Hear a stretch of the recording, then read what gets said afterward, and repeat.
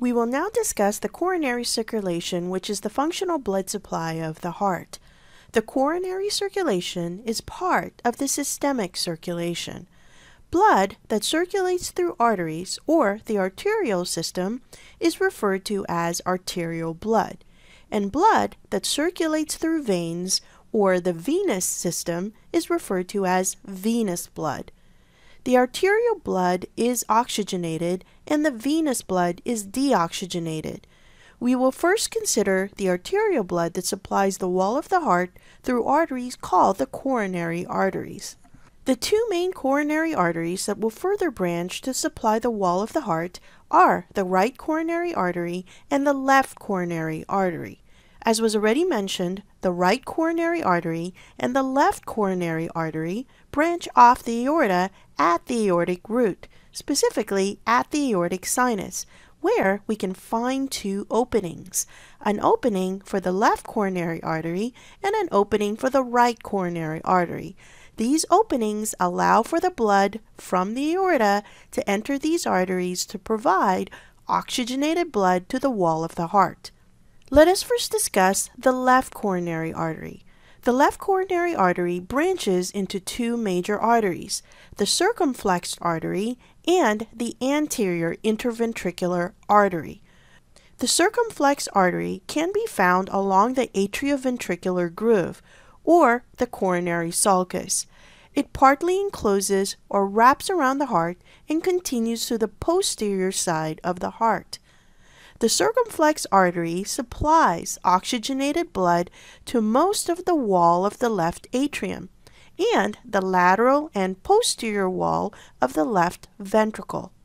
The anterior interventricular artery is also called the left anterior descending artery.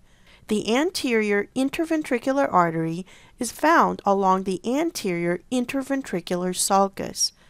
This artery supplies oxygenated blood to the interventricular septum, the anterior wall of the left ventricle, the wall of the apex of the heart, and portions of the electrical conduction system of the heart. The electrical conduction system of the heart is discussed in the physiology of the heart. Let us now discuss the right coronary artery. The right coronary artery branch into two major arteries, the right marginal artery and the posterior interventricular artery. Please note there are additional arteries that branch off the right coronary artery, but we will only focus our attention on these two arteries.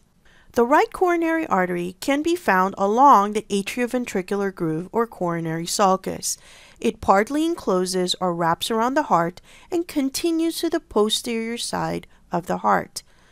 The right coronary artery supplies oxygenated blood to the walls of the right atrium, the anterior wall of the right ventricle, and portions of the electrical conduction system of the heart. The right marginal artery branches off the right coronary artery and supplies oxygenated blood to the lateral wall of the right ventricle.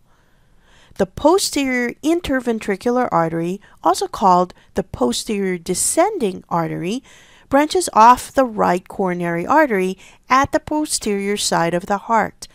The posterior interventricular artery is found along the posterior interventricular sulcus and supplies oxygenated blood to the posterior and inferior wall of the heart. Let us now discuss the venous blood supply and the coronary veins, which are also known as cardiac veins. The blood that circulates through these veins is deoxygenated. There are twice as many coronary veins as there are coronary arteries. The high carbon dioxide concentration in the blood is due to the carbon dioxide produced by the tissue cells of the wall of the heart. The coronary veins or cardiac veins that we will focus our attention on are the coronary sinus, the great cardiac vein, the middle cardiac vein, the small cardiac vein, the anterior cardiac veins, and the posterior vein of the left ventricle.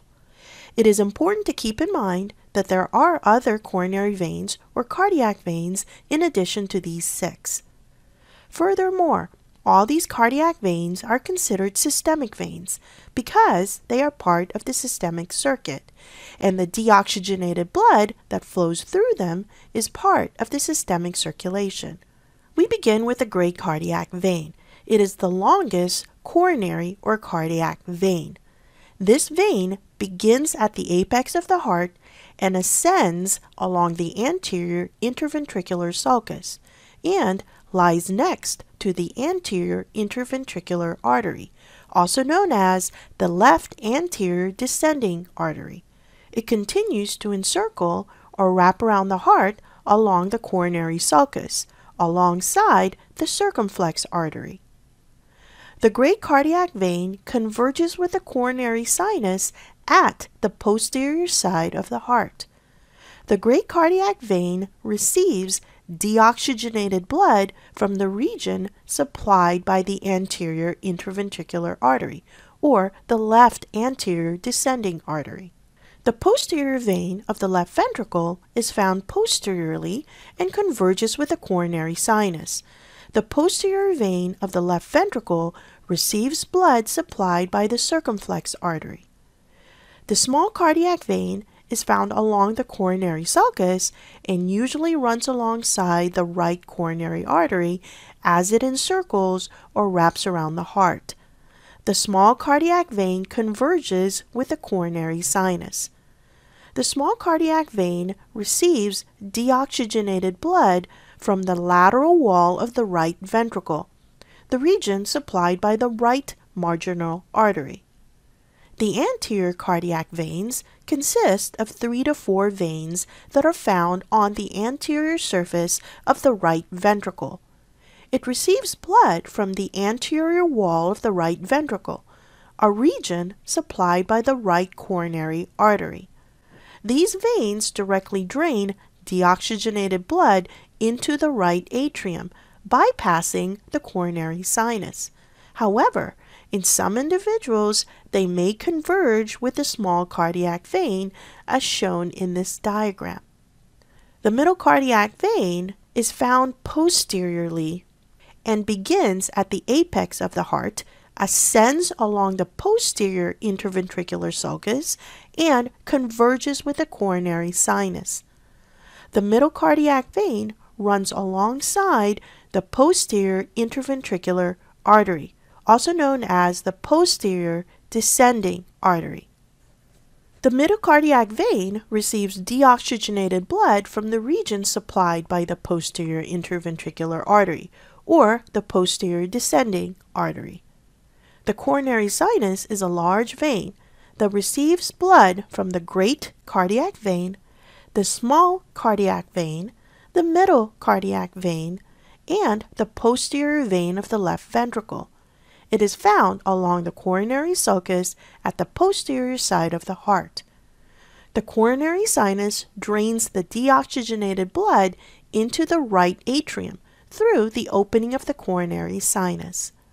Furthermore, when the ventricles contract, these coronary blood vessels, the coronary arteries, and the coronary or cardiac veins are compressed or squeezed due to the high pressure generated by the contraction. So, no blood can flow through them. Only when the ventricles relax are these coronary blood vessels no longer compressed or squeezed, so blood can now flow through them. One thing to keep in mind these coronary blood vessels that we've gone over, the coronary arteries and the coronary or cardiac veins, will not always be organized in the way that we've discussed. There are differences or variations between individuals. One example of these variations is the small cardiac vein. It is not always present in every individual. Another example is that in some individuals, the posterior interventricular artery that usually branches off the right coronary artery branches off the circumflex artery instead. Still another example are veins that empty into another cardiac vein rather than into the coronary sinus, while other veins empty directly into the right atrium, bypassing the coronary sinus altogether, as we've seen with the anterior cardiac veins. So, These variations and differences between individuals makes each one of us unique. Let us now summarize the overall coronary circulation. We begin with the two coronary arteries, the right and left coronary arteries that branch off the aortic root, specifically at the aortic sinus. The right coronary artery branches or divides into two major arteries, the right marginal artery and the posterior interventricular artery, or the posterior descending artery. The right marginal artery supplies oxygenated blood to the lateral wall of the right ventricle. The deoxygenated blood is then received by the small cardiac vein. The small cardiac vein converges with the coronary sinus. The posterior interventricular artery, or posterior descending artery, supplies oxygenated blood to the posterior and inferior wall of the heart. The deoxygenated blood is then received by the middle cardiac vein. The middle cardiac vein converges with the coronary sinus. There is a region of the right coronary artery that supplies oxygenated blood to the anterior wall of the right ventricle and portions of the electrical conduction system of the heart. The deoxygenated blood from this region is received by the anterior cardiac veins. For most individuals, the anterior cardiac veins directly drain into the right atrium, while for some individuals, they converge with the small cardiac vein. The left coronary artery branches or divides into two major arteries the anterior interventricular artery, or left anterior descending artery, and the circumflexed artery. The anterior interventricular artery, or left anterior descending artery, supplies oxygenated blood to the interventricular septum, the anterior wall of the left ventricle, the apex of the heart, and portions of the electrical conduction system of the heart. The deoxygenated blood is then received by the great cardiac vein. The great cardiac vein converges with the coronary sinus. The circumflex artery supplies oxygenated blood to the wall of the left atrium, the lateral and posterior wall of the left ventricle. The deoxygenated blood is then received by the posterior vein of the left ventricle. The posterior vein of the left ventricle converges with the coronary sinus. The coronary sinus drains the deoxygenated blood that it receives from the small cardiac vein, the middle cardiac vein, the great cardiac vein, and the posterior vein of the left ventricle into the right atrium. This slide shows both the coronary arteries and the coronary or cardiac veins that we've discussed, as well as the anterior and posterior views of the heart. I'd like you to carefully look over this slide. Memorizing the location of these coronary blood vessels will help you learn the region of the heart they supply or serve. The next slide is for practice purposes in labeling and identifying the coronary blood vessels. This slide goes over a few of the diseases that affect the heart, such as coronary artery disease, CAD, and myocardial infarction, MI. When there is inadequate flow of blood to a tissue or organ, this is referred to as ischemia.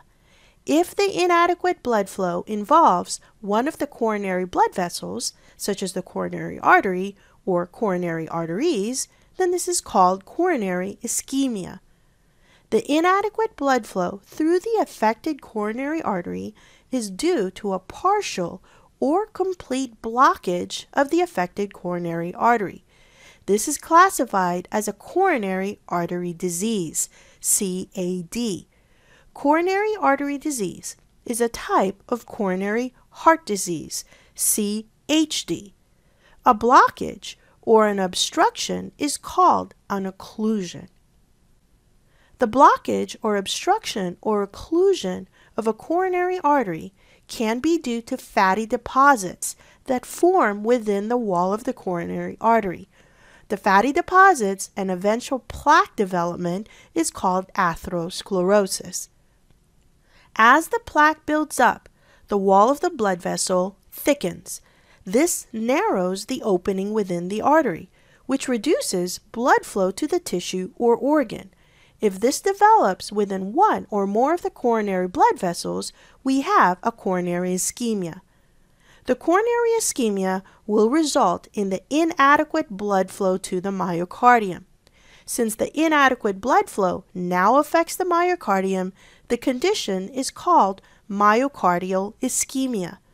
The reduction of blood flow to the myocardium decreases the oxygen delivery to these cardiac muscle cells or cardiac muscle fibers. The reduced supply or the inadequate delivery of oxygen to a tissue or organ is called hypoxia. This reduction of oxygen to the myocardium weakens the cardiac muscle cells.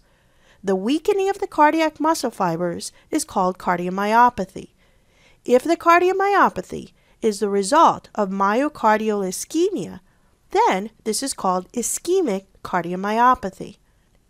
The plaque can become unstable and cause the formation of a blood clot. A blood clot is called a thrombus.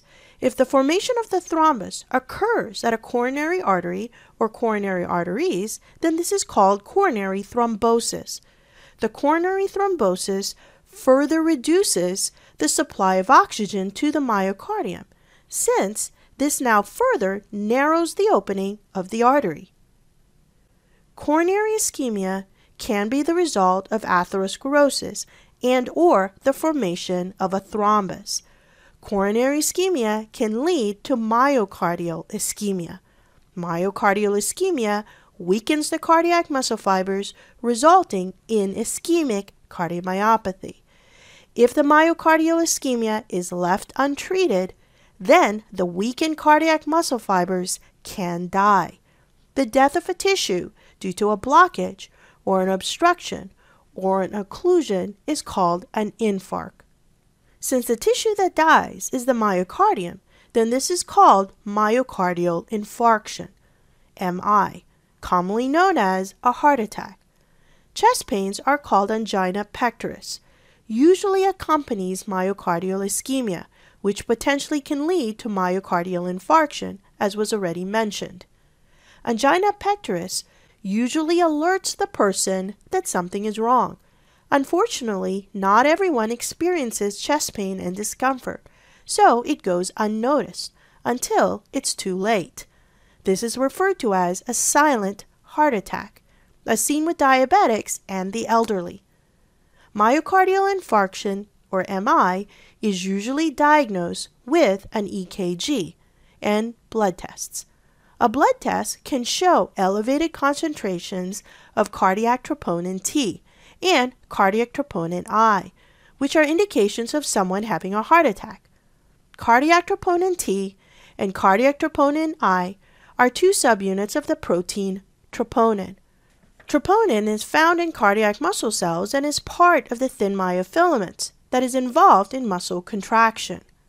When the muscle cells are damaged or die, these proteins are released into blood when normally they should be contained within the cardiac muscle fibers. Risk factors of coronary artery disease, CAD, and myocardial infarction, MI, are smoking, high blood cholesterol levels, high blood glucose levels, as seen with diabetics, lack of exercise, poor dietary habits, being overweight, high blood pressure, and having a family history of CAD and or MI. Looking at this diagram, I have two questions for you. First question, could you identify which coronary artery is occluded? Second question, what area or areas of the heart is or are damaged as a result. Pause the video and answer these questions. When done, play the video to check your answers. The answer to the first question is the anterior interventricular artery, or left anterior descending artery. The answer to the second question are the interventricular septum, the anterior wall of the left ventricle, the apex of the heart, and portions of the electrical conduction system of the heart. Since this is the major coronary arteries that supply oxygen to these areas of the heart, severe or complete occlusion of the anterior interventricular artery or left anterior descending artery will likely lead to sudden death. Therefore, this artery is sometimes referred to as the widowmaker.